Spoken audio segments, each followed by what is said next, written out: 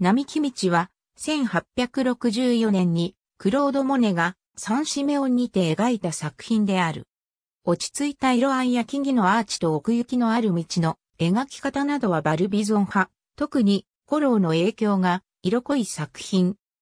ノルマンディの港町オンフルールとトゥルービルを結ぶ街道沿いに位置するサンシメオンの農場は多くの芸術家たちの交流の場となったことで知られる。モネは1864年の5月末からバジールと共にノルマンディへ滞在した際、このサンシメオンを拠点としている。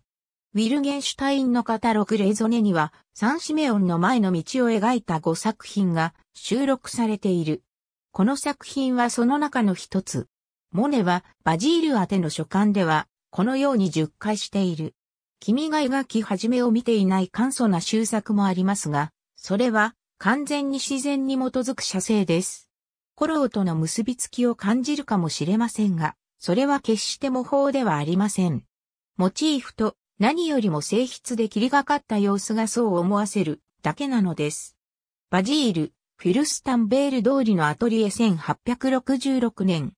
並木道を描いた翌年の1865年からモネはバジールの誘いでパリのアトリエを共有していた。1866年に描かれたバジールのフィルスタンベール通りのアトリエではモネとアトリエを共にしていたことを示すように奥の壁に本作品と思われる絵が書き込まれている。ありがとうございます。